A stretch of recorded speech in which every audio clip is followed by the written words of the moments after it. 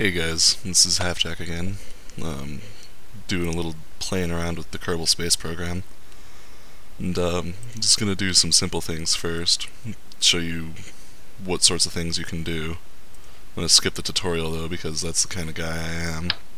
It's just real simple rockets at first. It's, it's a game where you're in control of the Kerbal, which is the race that you're playing as, their space program. And later, like right now it's in alpha I think, but later they're gonna add in all sorts of other things to let you like have missions and stuff like that, and it'll, it'll be pretty cool. But still in alpha. So this is just a real simple rocket I made, and then we're gonna go ahead and launch. Skipping that tutorial.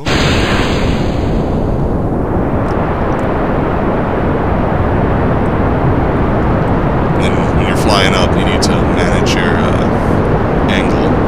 In the bottom right, you can see the crew. Jebediah is always a cheerful motherfucker. Oh shit, I dropped my speed a little too much.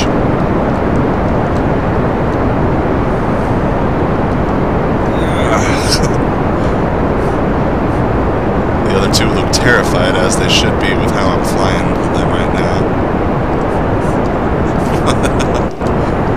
And then in the bottom left you can see your fuel. You have different stages to your rockets as well. So once we get to a certain point, I'm going to shoot off my fuel tank and my engine, and that'll leave... Oh, shit. We'll say that... Uh, maybe I didn't put a coupler on, or a decoupler on there because it's... Uh, sorry, guys. You might die. Come on, there we go. Yeah, regain control-ish.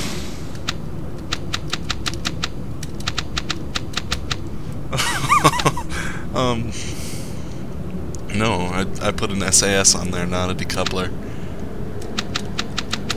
Your parachute's not gonna... Oh, shit, did I even put the parachute on there? Uh, if I did, it didn't load.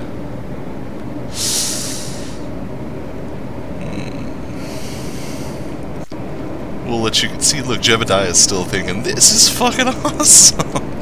the other two have realized something is going horribly, horribly wrong. Alright. Uh, this is just terrible. You poor dumb bastards. The ground is rapidly approaching. There's the launch pad, so so we cleared that at least. Oh dear. Poor dumb bastards. I think this will be the first time that I've killed a crew unintentionally.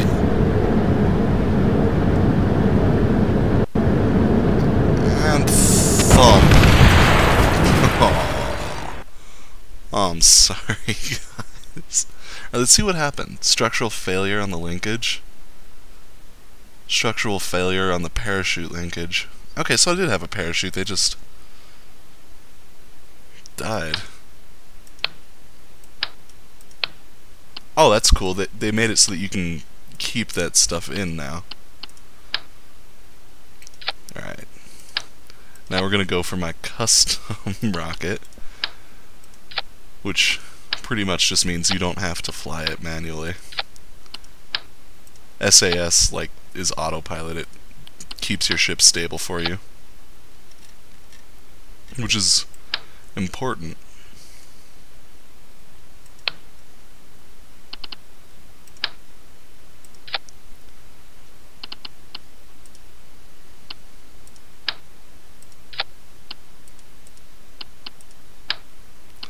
You know what? We will go with a little bit more SA. Oh, actually, I'm gonna go for the tri-coupler.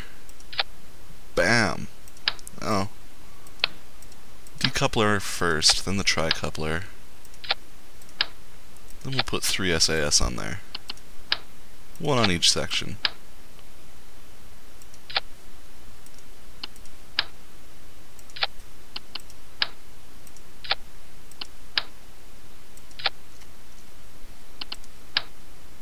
fuel tanks. You gotta have a fuel tank for your uh, liquid engine to work. Um, liquid fuel engines right there. A fuel tank is only good if you do have one of those, and they're only good if you have a fuel tank for it. My first couple rockets, I just had the engines with no fuel tanks, and I was wondering why they weren't flying. It's because you need to hook them up properly. And then I figured out what the boosters are really used for. Like, I used to be a big time space fan, so I knew what everything was.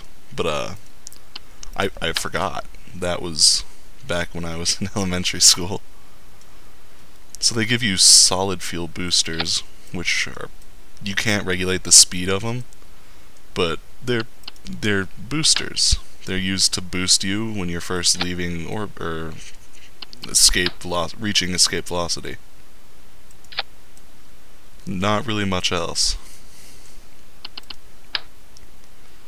So we're going to set up a few boosters on these. These are little outside mounted couplers or decouplers.